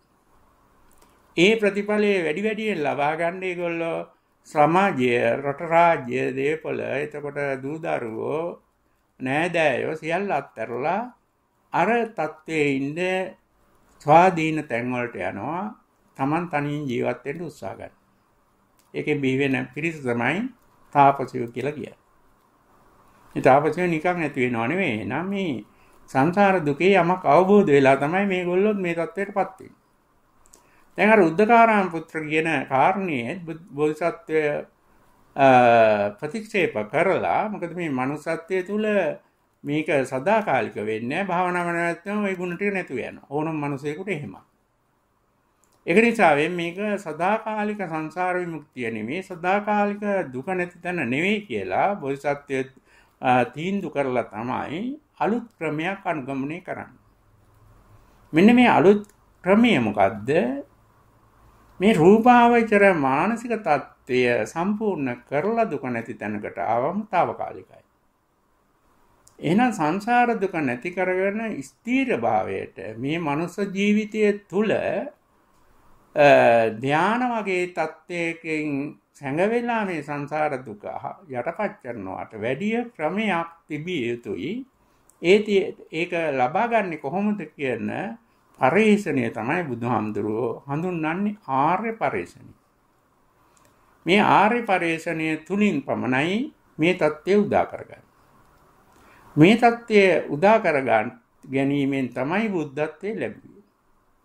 ඒ බුද්ධත්වයේ ලැබුවට පස්සේ බුදුහාමුදුරුවෝ පෙන්නනවා ඕන මිනිසෙකුට මේ தත්ත්වය ලබා ගන්න පුළුවන්. මේ මෙහෙම තියෙන මානසික தත්ත්වය මුලින්ම ලබා ගන්න එක තමයි බුද්ධත්වය. ඒ එවැනි தත්ත්වයක් ලබාගෙන පෙරක් ඒ බුද්ධත්වයට පත් වෙච්ච අයට අපහැදිලිකමක් තියෙනවා කියලා බුදුහාමුදුරු දේශනා කරනවා. මේ தත්ත්වය තව කෙනෙක් ලබා ගන්න මෙන්න මේවා අනුගමනය කළ යුතුයි කියලා පැහැදිලි මාර්ගයක් කියන්න බැරිකම. පැහැදිලි මාර්ගයක් යන්න බැරි වෙනවා කියන්නේ දැන් ආලාර කාලාම බැරි වෙලා හරි කවදා හරි ඔය බුදුහාමුදුරුව පෙන්නන තැන අවබෝධ කරගත්තොත් එයා මුලින් වඩලා තියෙන්නේ සමත භාවනාව. එයා කියන්නේ මට මේක ලැබුණේ මෙන්න මේ භාවනා ක්‍රමයෙන් කියලා. නමුත් එයා දන්නේ නැහැ මේ භාවනා ක්‍රමයෙන් උපරිම ලැබෙන්න පුළුවන් වෙන්නේ අර උද්දකාරාම් පුත්‍ර කියපු අරූපාවචර හතර වෙනි ධානයේ පමණයි. දැන් බුදුහාමුදුරුවම බුද්ධත්වයෙන් පස්සේ පැහැදිලි කරනවා සමහර මේ මිනිස්සයෝ සත්තු මිනිස්සයෝ ඉන්නවා. විශේෂයෙන් මිනිස්සයෝ ගැන කියන්නේ. දෙවියෝ ගැනවත් බ්‍රහ්මයෝ ගැන නෙමෙයි. සමහර මිනිස්සයෝ මේවා පුරුදු කරලා ඉබේමන් ලබාගත්ත මේ සංසාර විමුක්තිය ලැබෙන්න පුළුවන්. ඒ අය සංසාර විමුක්තිය ලබාගත්ත සංසාරය නිමා කරපු පුද්ගලයෝ. ඒ පුද්ගලයෝ පසේ බුදුවරු විදිහට බුදුහාමුදුරු දේශනා කරනවා. මේ පසේ බුදුවරු වරුන්ට තේරෙන්නේ මේ ප්‍රඥා ශික්ෂාව කියන එක අනික් ඔක්කොම තේරෙන. මොකද පසේබුදුරයන් වහන්සේලා සීල ශික්ෂාවේ ගුණ දන්නවා. ඒවා අනුන්ට කියා දෙනවා මේකේ වටිනාකම කියා දෙන්න පුළුවන්. පසේබුදුරයන් වහන්සේලාට සමාධියේ ගුණ තේරෙනවා. ඒ කියන්නේ සමත භාවනාව වඩලා අහම්බෙන් තමයි මේ தත්ත්වයටපත් වෙන්නේ. ඒතර සමත භාවනාවෙන් නෙමෙයි මේ தත්ත්වයටපත් වෙන්නේ යාගේ අර විපස්සනා ස්වરૂපයකට දන්නේ නැතුව අහම්බෙන් වැටීමයි. මේ අහම්බෙන් වැටිච්ච ටික තව කෙනෙකුට කියා දෙන්න බෑ. එයාට කියා දෙන්න පුළුවන්. එයා පුරුදු කරපු ටික පුරුදු පුහුණු කරපු ටික විතරයි. ඒක නිසා බුදුහාමුදුරුවෝ පෙන්නනවා මේ සම්මා සම්බුද්ධා පසේ බුදු කියලා මේ සංසාර විමුක්තිය අවබෝධ කරගත්ත ආර්යයන් වහන්සේලා දෙනමක් ඉන්නවා. මේ සම්මා සම්බුද්ධ කියන්නේ தත්ත්වය ඊටා වටින එකක්. සම්මා සම්බුද්ධ தත්ත්වයේදී මේ සංසාර විමුක්තිය අවබෝධ කරගන්නවා වගේම ඒ අවබෝධ කරගත්තේ පැහැදිලි ක්‍රමයක් ශ්‍රාවකයන්ට පැහැදිලි කරලා දෙන්න පුළුවන්. දැන් ගෞතම බුදුහාමුදුරුවෝ එවැනි කෙනෙක්. උන්වහන්සේ එතකොට එදා හිටියේ සියලුම ශ්‍රාවකයන්ටත් වර්තමානයේ අපි වගේ ඕනම ශ්‍රාවකයන්ටත් අනාගතයේ පහළ වෙන ශ්‍රාවකයන්ටත් මීට අවුරුදු 2600කට පෙර අවබෝධ කරගත්තා වූ සංසාර විමුක්තිය ලබා ගන්නා වූ ක්‍රමය පැහැදිලිව දේශනා කරලා තියෙනවා. ඒක අනුගමනය කරන්න ශ්‍රාවකයෙකුට නොහැකි වෙන එක තමයි ගැටලුව තියෙන්නේ. මොකද අනුගමනය කරනකොට Tamanට ඊට වැඩිය වෙනස් ක්‍රම ලේසි ක්‍රම ඇති කියලා ඒ පිළිබඳව සැලකිලිමත් වෙන්නේ නැතුණාම අර විමුක්ති මාර්ගය ශ්‍රාවකයාගෙන් ඉවත් වෙනවා. නමුත් පසේබුදුවරයන් වහන්සේලා ඕන තරම් පහළ වෙන්න පුළුවන්. උන්වහන්සේලා කියන්නේ නිවන් දකින්න ශික්ෂා දෙකක් පුහුණු කළ යුතු බවයි. නැතු මේ පසේබුදුවරයන් වහන්සේලාට ධර්ම මාර්ගයක් කියා දෙන්න බෑ කියන එකක් නෙමෙයි මෙතන කියන්නේ. අර ආලාර කාලාම උද්දකාරාම පුත්‍රත් කියනවා අවිද්‍යාව නැති කරගන්න ශික්ෂා දෙකක් අනුගමනය කර යුතුයි. පුහුණු වීම දෙකක් තියෙන්න ඕනේ. ඒ පුහුණු වීම දෙක තමයි සීල ශික්ෂාව හා සමාධි ශික්ෂාව. පසෙව්දුවරයන් වහන්සේලාත් පැහැදිලි කරන්නේ ඕකමයි. මේ විමුක්තිය ලබා ගන්න සීල ශික්ෂාව හා සමාධි ශික්ෂාව කියලා පුහුණුවක් අවශ්‍යයි කියලා. මොකද උන්වහන්සේට අවබෝධයක් නැහැ අර සමාධි ශික්ෂාව තුල ඉන්න පුහුණුව තුල ඉන්නකොට අහම්බෙන් සිදුවෙච්ච දෙයක් තමයි ප්‍රඥා ශික්ෂාවට අවතීර්ණ වීම. එතකොට ඒ ප්‍රඥා ශික්ෂාව ගැන පසේ බුදුරන් වහන්සේලාට වෙනම පැහැදිලි කරන්න බෑ. පැහැදිලිව දන්නේ ශික්ෂා දෙකයි. දැන් ලෞතර බුදුහාමුදුරුවෝ එහෙම නෙවෙයි මේ ශික්ෂා තුන වෙන් කරනවා. වෙන් කරලා ඒ ශ්‍රාවකයාට දැනට වැඩිලා තියෙන ශික්ෂා මොකක්ද කියලා ශ්‍රාවකයේ ජීවමානව දැක්කෝ හඳුන ගන්න පුළුවන්. එතකොට සීල ශික්ෂාව සම්පූර්ණ වෙච්ච ශ්‍රාවකයෙක් හමු වුණොත් සම්මා සම්බුදු සම්මා සම්බුදුවරයෙකුට උන්වහන්සේ එයාට දෙන්නේ තව දුරටත් සීල ශික්ෂාවට මහන්සි වෙන්න කියලා උපදෙසක්. එයාට දෙන්නේ සමාධි ශික්ෂාවට මහන්සි වෙන්න. දැන් සම්මා සම්බුද්ධත්වයට පත්වෙච්චි ආර්යයන් වහන්සේලා ඒ කියන්නේ බුදුරයන් වහන්සේ කෙනෙකුට සීල ශික්ෂාවයි සමාධි ශික්ෂාවයි සම්පූර්ණ වෙච්චි ශ්‍රාවකෙක් හම්බ වුණොත් ඒ ශ්‍රාවකයාට උපදෙස් දෙන්නේ ප්‍රඥා ශික්ෂාව පුරණ විදිහ විතරයි. නමුත් මේ මේ தত্ত্ব ඔක්කොම බුදුහාමුදුරුවෝ ජීවමාන කාලයට සීමා වෙනවා. ඒක නිසාවෙන් අපි දැන් බුදුහාමුදුරුවෝ ජීවමාන කාලයක නෙවෙයි ඉන්නේ. ඒකින්ද උපදේශත් බුදුහාමුදුරුවෝ දෙනවා. සියලු දෙනාටම දීපු පොදු උපදේශ නම් මෙන්න මේ සීල සමාධි ප්‍රඥා කියන ශික්ෂා තුනටම පුහුණුව කරන්න උත්සාහ ගන්න. තමන් ඉන්න තැන හොයන්න යන්න එපා. ඒකට දීපු උපදේශ තමයි ආර්ය අෂ්ටාංග මාර්ගයේ වැඩි. එතකොට යමෙකුට සීලය ගැන විශ්වාසවන්තකම තියෙනවා නම් එයාට ආර්ය අෂ්ටාංග මාර්ගයේ සම්පූර්ණ කරගන්න තනි පුහුණුවකින් පුළුවන්. ඒක තමයි සතිපට්ඨාන භාවනා ක්‍රමය. ඒක නිසාවෙන් තමයි සතිපට්ඨානයේ තියෙන භාවනා හඳුන්වනකොට සතිපට්ඨාන සූත්‍රයේ මහා සතිපට්ඨාන සූත්‍රයේ බුදුහාමුදුරුවෝ පැහැදිලි කරන්න පෙර මෙහෙම විශේෂ වාක්‍යයකින් එය හඳුන්වලා දුන්නේ. ඒකායනෝ අයම් භික්කවේ මග්ගෝ සත්තානං විසුද්ධියා ශෝක පරිද්දවානං සමතික්කමාය දුක්ඛ දෝමනස්සානං අත්තංගමාය ඥායස්ස අධිගමාය නිබ්බානස්ස සච්චිගිරියාය අදිදං චත්තාරෝ සතිපට්ඨාන. ඒතර සීලය ගැන විශ්වාසයක් තියෙනවා. තමනු සීලය ගැනත් දන්නේ නැත්නම් මෙතන මේක ඒකායන මාර්ගයේ වෙන එකක් නෑ. එතකොට බුදුහාමුදුරුවෝ පෙන්නන කායික අකුසල් වාචික අකුසල් නොකරන මට්ටමක ශ්‍රාවකයේ මේ සතිපට්ඨාන භාවනා එක භාවනා ක්‍රමයක් හෝ පුහුණු කිරීම සමාධි ශික්ෂාව හා ප්‍රඥා ශික්ෂාව වඩලා යාගේ අවිද්‍යාව සහ මුලින් නැති කරන ක්‍රමයයි. එහෙනම් රූපාවචර මට්ටමේදී ආලාර කාලාම කියනවා අවිද්‍යාව නැහැ කියලා. රූපාවචර මානසික මට්ටමේ යා ලබා ගත්තේ ශික්ෂා දෙකකින්. සීල ශික්ෂාව හා සමාධි ශික්ෂාව. එතකොට බුදුහාමුදුරෝ දෙනවා ප්‍රඥා ශික්ෂාව. එහෙනම් රූපාවචර මට්ටමේ තියෙන අවිද්‍යාව හක් වෙන ශික්ෂාව ප්‍රඥා ශික්ෂාවයි. අපි ඒ දක්වා මේ ගමනේ පිළිවෙලට යා යුතුයි. එමනම් මිනිස්සෙක් ගත්තොත් මේ පින්වතුන් හැමදෙනාම ගත්තොත් යම්කිසි විදිහක අවිද්‍යාවේ අඩුවක් තියෙනවා. ඒ කියන්නේ සංසාර දුකේ අවබෝධයක් තියෙනවා. දැන් මිනිස්සයන්ට මේක හැම වෙලෙම නැති එක විතරයි වෙනස. මිනිස්සයන්ට මෙන්න මේ අවමට්ටමේ සංසාර දුක අවබෝධ වෙන තැන තියෙනවා. ඒ කියන්නේ විද්‍යාව පහළ වෙච්ච තැන තියෙනවා. හැබැයි ඒක ඉගෙන ගන්න විභාග පාස් වෙලා ලැබිච්ච එක නෙවෙයි මනුස්සත්වයේ තුල තියෙන ගුණය. දැන් තිරිසන් සතෙක් දකින්නවා අපි. ඌ දුක් විඳිනවා, මිනිස්සු ඊට වැඩිය සැප විඳිනවා. මිනිස්යන්ට මෙච්චර දුකක් නැහැ කියලා අවබෝධයක් මිනිසෙකුට තියෙනවා. මේක සංසාර දුකේ අවබෝධයක්. දැන් ආලාර කාලාමටත් තිබුණා ඊට වැඩිය ලොකු අවබෝධයක්.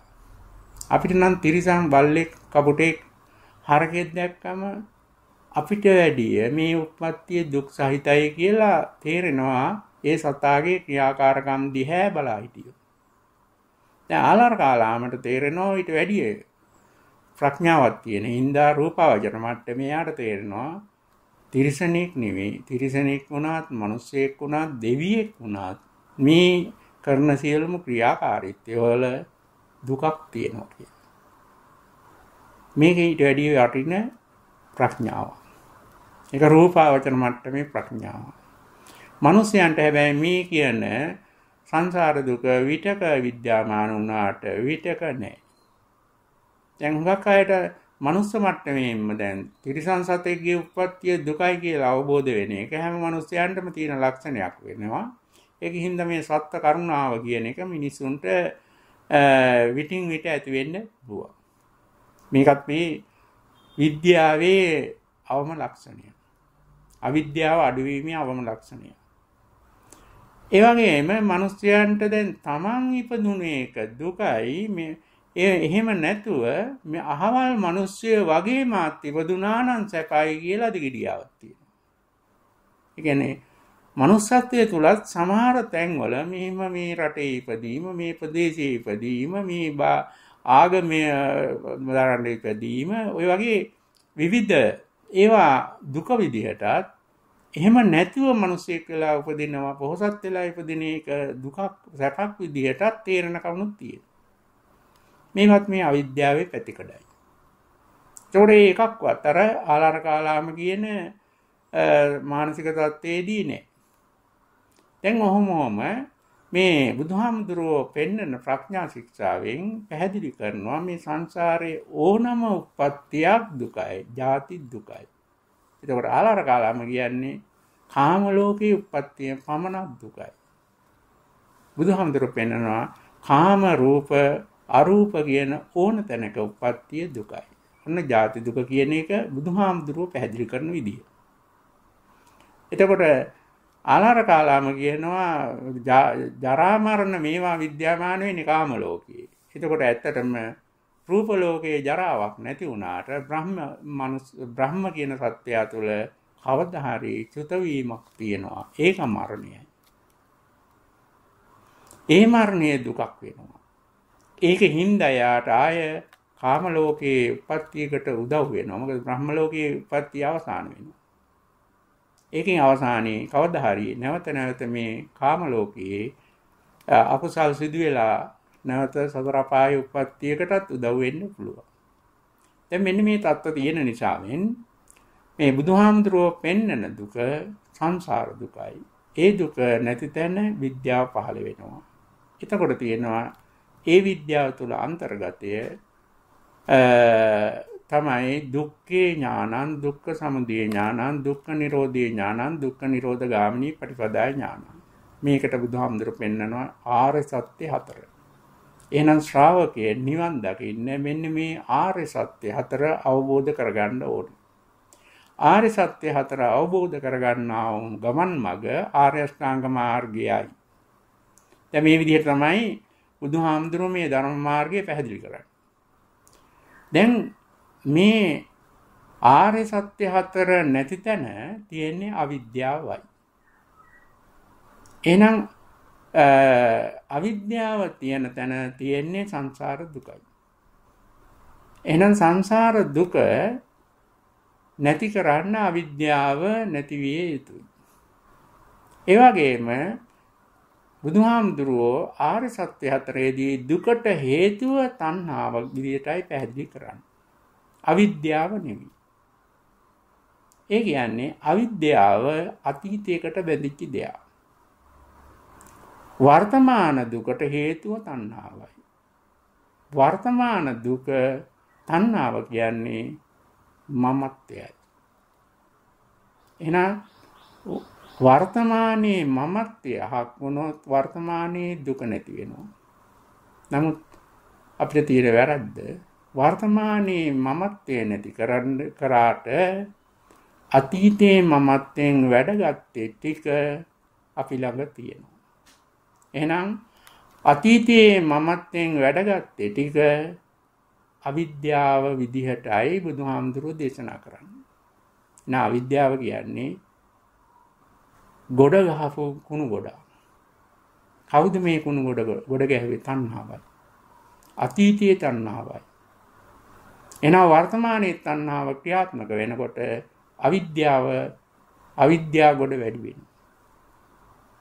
අවිද්‍යාව තුළ එකතු වෙලා තියෙන්නේ මොකද්ද? දුක ගැන දන්නේ නැතිකම. දුකට හේතුව නොදන්නකම. දුක්ඛේ අඥානං දුක්ඛ සමුදය අඥානං දුක්ඛ නිරෝධය අඥානං දුක්ඛ නිරෝධ ගාමිනී පටිපදාය අඥාන. එහෙනම් අපි මිනිස්සේ කියලා උපදිනකොට ඉපදිලා අපිට කරන්න පුළුවන් ක්‍රියාකර්ම තියෙන්නේ තුනයි. එකක් කායික ක්‍රියා. අනික වාචසික ක්‍රියා.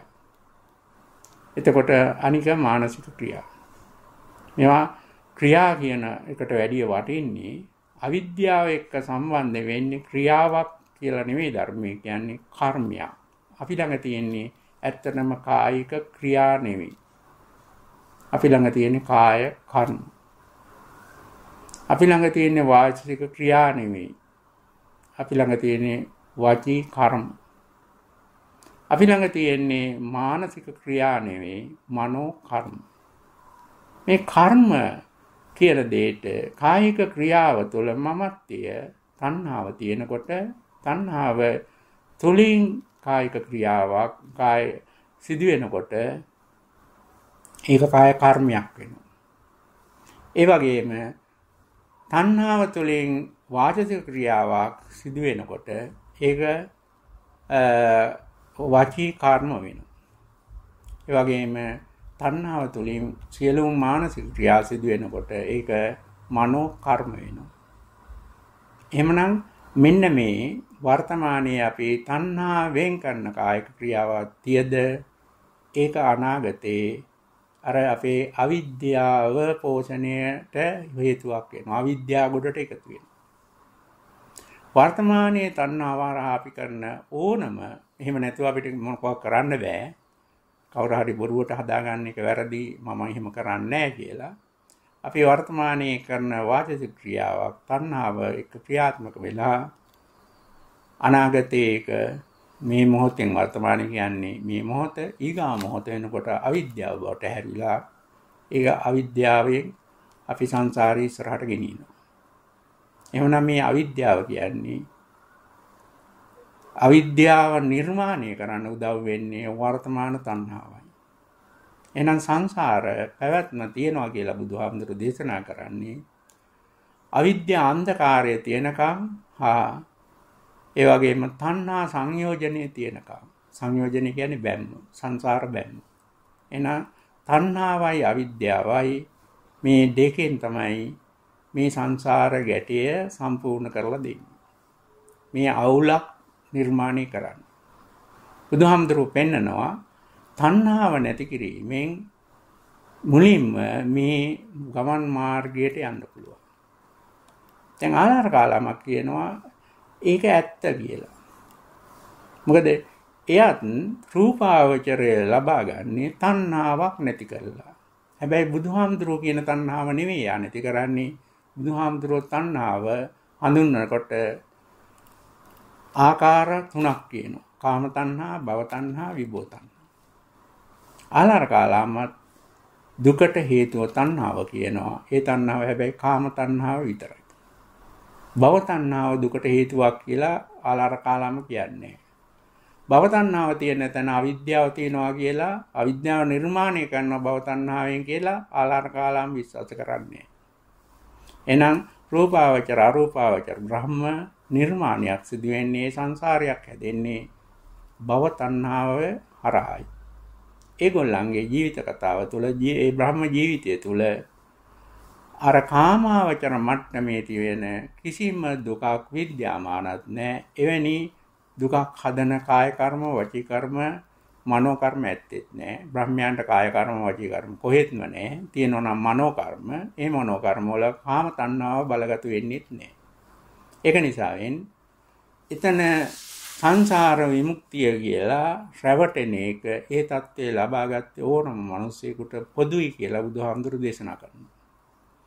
ඒ වුණාට බුදුහාමුදුරන්ගේ ශ්‍රාවකයෝ බුදුහාමුදුරුවෝ කෙරෙහි විශ්වාසයෙන් මේ ප්‍රඥා ශික්ෂාව සම්පූර්ණ කිරීමෙන් සත්‍ය ලෙස දුක නැති තැනකටපත් වෙනවා කියලා පැහැදිලි කරනවා. ඒකම බුදුහාමුදුරුව මේ බුද්ධත්වයෙන් පස්සේ අද වගේ දවසකදී පැහැදිලි කරනවා මේ දුකට තව සත්ව පුජ්‍යල සම්බන්ධයක් නැහැ. කිසිම පුජ්‍යල භාවයකින් නිර්මාණය කරන දෙකක් දෙයක් නෙමෙයි සංසාර දුක. පුජ්‍යල භාවයක් මේක තුල නැහැ. දැන් අපි නම් එහෙම නෙවෙයි කියන්නේ අපිට මේ දුක තියෙන්නේ අහවලා හින්දා. ඒ අහවල් පුජ්‍යලයා හින්දා. ඒ වගේම අහවල් දේ හින්දා. එහෙම නැත්නම් ඉර හවා සඳු වගේ වැස්ස වගේ භෞතික හේතුවක්. දුකට හේතුව අපිට. බුදුහාමුදුරුවෝ එහෙම කියන්නේ. කිසිම මේ සංසාර දුක තව පුජ්‍යලයේගේ තව වස්තුවක නිර්මාණයක් නෙවෙයි. ඒ වගේම මේ සංසාර දුක තව ඊශ්වර භාවයක නිර්මාණයක් නෙවෙයි. ඒ කියන්නේ හුඟක් ආගම් වල දුකට හේතු විදියට ගන්නේ නොපෙනෙන තවත් සත්ත්ව ස්වરૂපයක්. දෙවියෝ බ්‍රහ්ම වගේ සත්ත්ව ස්වરૂපයක්. දැන් මහා බ්‍රහ්ම එයාදී දේවල්. එතකොට එවැනි දෙයක් නෙමෙයි මේ සංසාර දුකට හේතුව ඒ දුක පවතින තව සත්‍යයක් පුජ්‍යලයක් මෙතන සම්බන්ධයක් නැහැ. එහෙමනම් මේ සංසාර දුක හා බැඳිලා තියෙන්නේ සංසාර දුක ඇති කරන ක්‍රියාදාමය හේතුඵල ධම. ඒ කියන්නේ ධර්මයක් එක්ක තියෙන හේතු හා එක එක හේතුවෙන් ඇති වෙන විකෘති ධර්මතාවය. ධර්මතා ටික. මේ හේතුඵල ධම අවබෝධ කර ගැනීම තමයි එක විදිහක බුද්ධත්වයේ. එන හේතුඵල ධමයට පාලියෙන් කියනවා පටිච්ච සමුප්පාදය. එහෙමනම් බුදුහාමුදුරුවෝ පෙන්වන මේ අවිද්‍යාව කියන දුක ගැන නොදැනීම හේතුවෙන් මේකපත්තේ වෙලා තමයි අපිට මිනිස්සෙකුට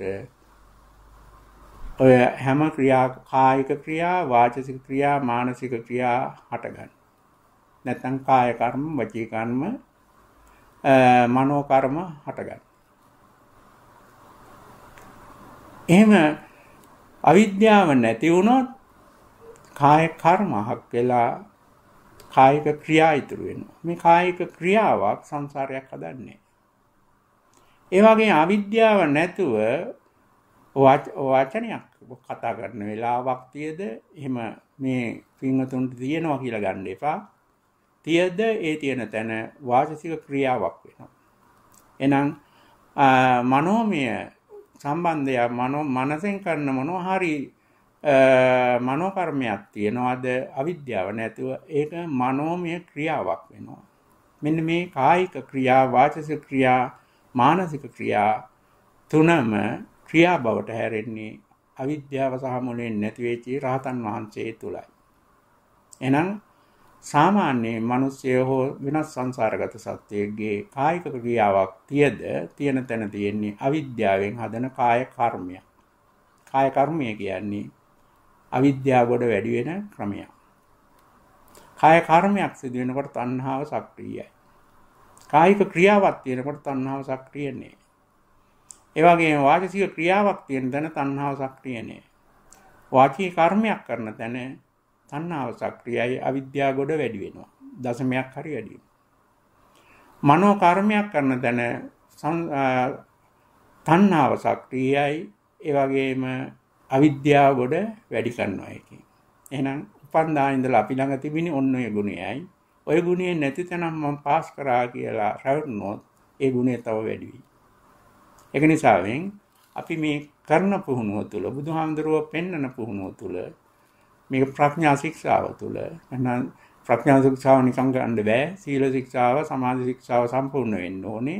මේ ශික්ෂා තුනම සම්පූර්ණ වෙන්න වෙන්න අපේ මෙන්න මේ කායික ක්‍රියා කාය කර්ම කායික ක්‍රියා බවට ටික ටික හරවනවා. වාච වාචී කර්ම වාචසික ක්‍රියා බවට හරවනවා. මේක තමයි සංසාර විමුක්ති මාර්ගය. ඉතින් මේ ගැන පැහැදිලි කරපු හේතුඵල ධර්මයට ධර්මයේ කියනවා පටිච්ච සම්පදාය. ඒක තමයි අවිද්‍යා පත්‍ය සංඛාරා. සංඛාර පත්‍ය විඥාන. අපි ඉතිරි පොහොය දවස්වල මෙන්න මේ බුදුහාමුදුරු දේශනා කරපු හේතුඵල ධාවේ අන්තර්ගත ධර්ම කාරණා දිගින් දිගට සාකච්ඡා කරන්න බලාපොරොත්තු වෙනවා. එතකොට හේතුඵල ධර්ම ඉගෙන ගත්තා කියලා සංසාර විමුක්තිය ලැබෙන්නේ කාටවත්. බුදුහාමුදුරුව පෙන්වන සීල සමාධි ප්‍රඥා වැඩිම තුල තමන් ළඟ තියෙන හේතුඵල ධහමට විරුද්ධ වෙලා තියෙන අවිද්‍යාවෙන් සිදු කරන ධහම ටික ටික අඩු වෙලා ගිහින් ඉතුරු වෙයි හේතුඵල ධහම. නැතු හේතුඵල ධර්ම ඉගෙන ගැනීමෙන් නිවන් දකින්නවා නෙවෙයි නිවන තුල තියෙන ධර්මයේ හේතුඵල ධර්මයි. මේ ගැන දැනුවත් වෙලා ඉදිරි පොය දිනේ වලදී අපි පුළුවන් තරම් උත්සාහ ගම මේ හේතුඵල ධර්ම පැහැදිලි කරගන්න. බුදුහාමුදුරුව පෙන්නපු දේශනානුව බොහොම සරලයි. බුදුහාමුදුරුව හේතුඵල ධර්ම දේශනා කරපු සූත්‍ර වැඩිම සංඛ්‍යාවක් තියෙන්නේ සංයුත්ත නිකායේ නිදාන වග්ගයේ. එතකොට මේ නිදාන වග්ගයේ එක සූත්‍රයක් හරි හුඟක් සූත්‍ර හරි අරගෙන ඒ පැහැදිලි කිරීමක් දිගට දිගට සිදු කරන්න බලාපොරොත්තු වෙනවා. ඉතින් අද දවසේත් මේ ධර්ම දේශනාව මේ විදිහට අවසන් කරනවා. වෙනද වගේම එකට පමණ අර භාවනාව සම්බන්ධව තියෙන ප්‍රායෝගික ගැටලු සාකච්ඡා කරන්න බලාපොරොත්තු වෙනවා. ඉතින් තමන් කරන පුහුණුව තුළ තමන් තුළ නැති හේතුඵල ධාමකට ළඟාවීමක් තමයි සිදු වෙන්නේ. නමුත් තමන් ඒ ගැන වැඩි හිතන්න ගියොත් භාවනාව තමයි මොට වෙන්නේ. ඉතින් මේ ගැන සැලකිලිමත් වෙලා වෙනද වගේම ඒ තම තමන්ගේ පුහුණුව තව තවත් සාර්ථක කරගන්න. මේ දේශනාවත් සත්‍යයක් වේවා ධෛර්යයක් වේවා හේතුවක් වේවා කියන ප්‍රාර්ථනාවෙන් අනුශාසනාව අවසන් කරන හැම දිනාටම තෙරුවන් සරණයි.